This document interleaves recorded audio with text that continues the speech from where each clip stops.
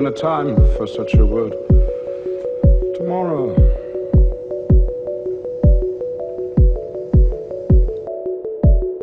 And tomorrow.